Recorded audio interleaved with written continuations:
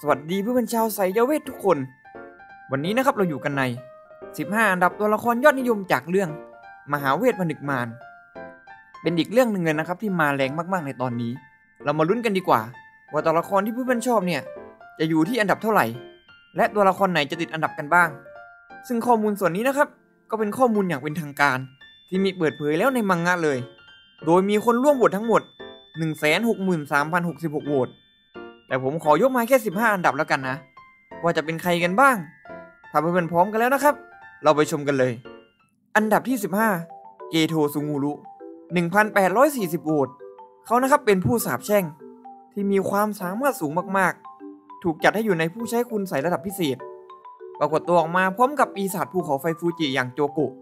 เป็นตัวละครที่ยังไม่เปิดเผยพลัง และระดับฝีมือในตอนนี้ ถ้าผมบอกข้อมูลไปเยอะกว่านี้เนี่ยเดี๋ยวจะกลายเป็น spoil เนื้อหาสำคัญ แต่บอกเลยนะครับว่าเป็นตัวละครที่มีบทบาทสำคัญมากๆในอนาคต เป็นตัวละครที่อยากให้รอติดตามเองมากกว่าคันปากอยากเมาท์โว้ย อันดับที่ 14แพนด้า2,508โหวต เป็นนักเรียนชั้นปีที่ 2 ของโรงเรียนสายเวทโตเกียว ซึ่งในอนิเมะตอนล่าสุดนะครับ ก็ได้เฉลยไปแล้วว่าพี่แกนั้นเป็นจูไกนั่นเอง ก็ว่าแพนด้าอะไรมันจะพูดได้เนาะ ด้วยบุคลิกสุดกวนโอยปนฮาแต่ก็เป็นรุ่นพี่ที่พึ่งพาได้ และรูปลักษณ์ภายนอกที่ดูน่ารักน่าเอ็นดู เลยทำให้ถูกใจหลายๆ คน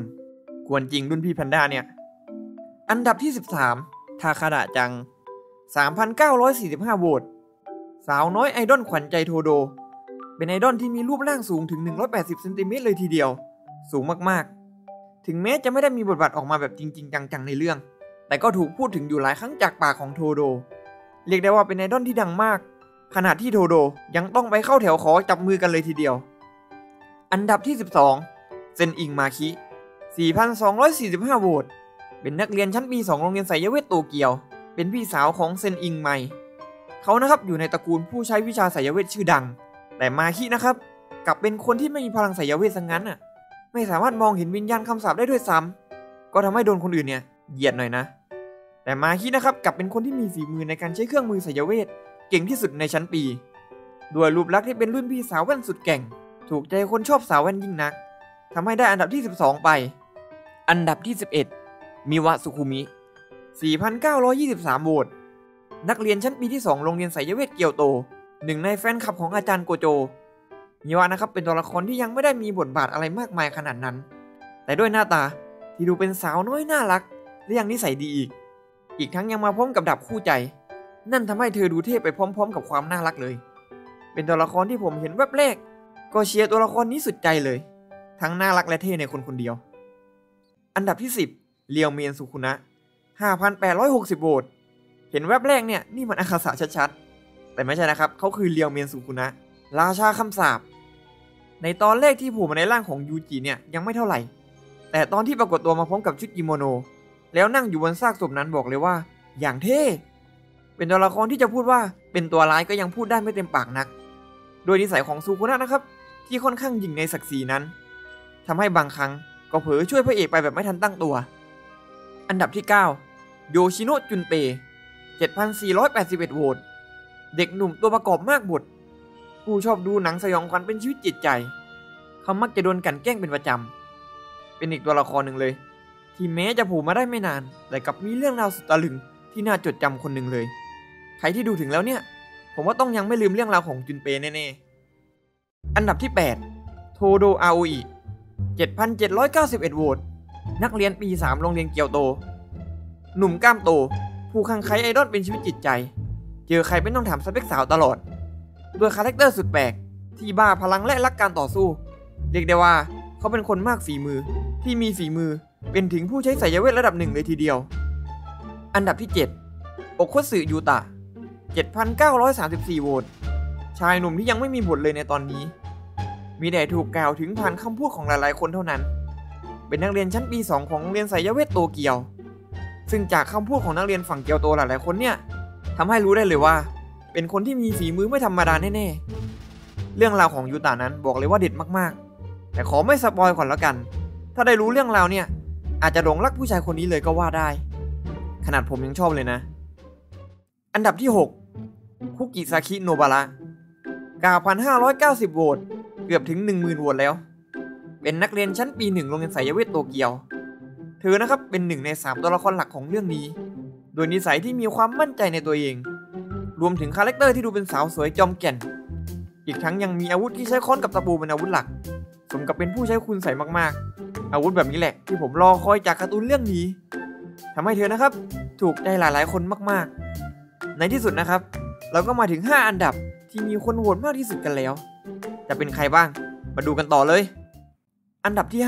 5 นานามิเคนโตะได้ผลโหวตเกิน 10,000 ไปแล้ว เขานะครับได้ไปถึง 11,644โหวตหนุ่มแว่นผู้เข่งคัดเรื่องเวลา อดีตนักเรียนโรงเรียนไสยเวทโตเกียว แต่ก็ผันตัวมาเป็นพนักงานเงินเดือนได้ระยะหนึ่ง แล้วพบว่าทั้งผู้ใช้ไสยเวทแล้วก็พนักงานเงินเดือนนั้นทิ้งซวยกันทั้งคู่ จึงกลับมาเป็นผู้ใช้คุณใสยอยู่ดี เป็นเหตุผลที่แปลกมาก ด้วยนิสัยสุดแปลกอันเป็นเอกลักษณ์นั้นนะครับทำให้ได้อันดับที่ 5 ไป อันดับที่ 4 อินุมาคิ โทเกะ12,088 โหวต นักเรียนปี 2 โรงเรียนโตเกียว ผู้ใช้วาจาคำสาปโดยความสามารถนี้นะครับทำให้เขาถูกจำกัดคำพูด ห้ามพูดมั่วๆสุ่มสี่สุ่มห้าเด็ดขาด เรียกได้ว่าคุยกันไม่รู้เรื่องเลยทีเดียว โดยอินุมาคินั้นนะครับ มักจะสวมเสื้อที่มีคอยาวสูงปิดปาก เป็น character ที่เท่ถูกใจหลายๆคนมากๆ แต่พอเปิดออกมาแต่ละครั้งเนี่ย ก็ทวีคูณความเท่ขึ้นไปอีก ทั้งเท่และเก่งขนาดนี้จะไม่ถูกใจกันได้ยังไง เอาจริงนะ หน้าตาแอบคล้ายอาจารย์โกโจมากๆ อันดับที่ 3 โกโจซาโตรุ16,923โหวตอาจารย์สุดหล่อมากฝีมือ เป็นผู้ใช้คุณไสยระดับพิเศษ ที่บอกได้เลยว่า โคตรเก่ง เก่งแบบเก่งเกินน่ะคนอะไรเก่งขนาดนี้โผล่มาตอนแรกๆ โดยบุคลิกสุด chill ที่มีผ้าปิดตา เป็นตัวละครที่มี character มากๆ แต่หลังจากนั้นไม่นานนะครับ ก็มีการถอดภาพปิดตาออก บอกเลยนะครับว่าหล่อมาก โคตรหล่อ คนอะไรหล่อขนาดนี้ นึกว่าเป็นคนละคนกันเลยทีเดียวเชียว เป็นอีกตัวละครหนึ่งเลยนะครับที่มีทั้งความหล่อ เท่เก่งกาจและยังมีความกวนอีก ครบถ้วนถูกใจหลายๆ คนมากๆ ตอนแรกนึกว่าจะได้อันดับที่ 1 แล้วซะอีก อันดับที่ 2 ฟูชิงูโรเมงูมิ 21,193 โหวต ห่างกับอาจารย์โกโจถึง 4,000 กว่าโหวตเลยทีเดียว เป็นนักเรียนโรงเรียนสายเวทปีหนึ่ง แก๊งพระเอกของเรานั่นเอง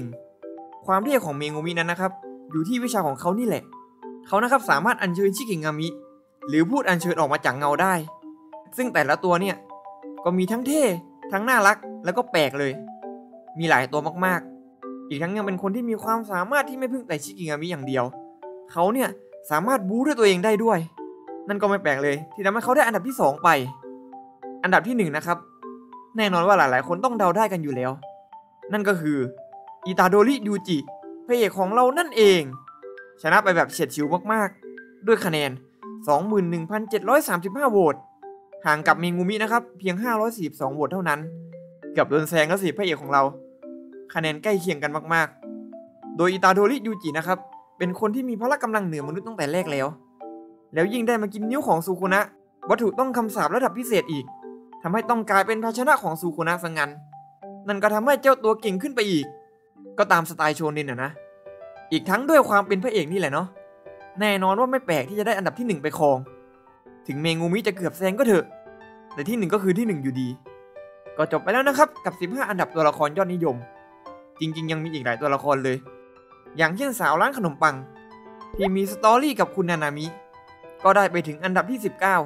1,500 โหวตทั้งทั้งที่ไม่ใช่ตัวหลักด้วยซ้ำแล้วยังมีคุณอาคุตามิเกเกะคนเขียนของเรื่องนี้นั่นเอง ก็ได้ไปถึง 1,767 โหวตอยู่ที่อันดับที่ 17 เลย แล้วตัวละครที่เพื่อนๆเชียร์ได้อันดับที่เท่าไหร่กันบ้าง ตอนแรกผมคิดว่าอาจารย์โกโจจะได้อันดับหนึ่งซะอีก แต่ตกไปอันดับที่3ซะงั้น แล้วก็ถ้าเพื่อนๆชอบคลิปนี้นะครับ ก็อย่าลืม กดไลค์และกด Subscribe ให้ด้วยนะครับ จะได้ไม่พลาดคลิปใหม่ๆนั่นเอง หลังจากนี้เนี่ยจะมีคลิปอะไรเกี่ยวกับมหาเวทผนึกมารอีก เรามาติดตามกันนะ แล้วเจอกัน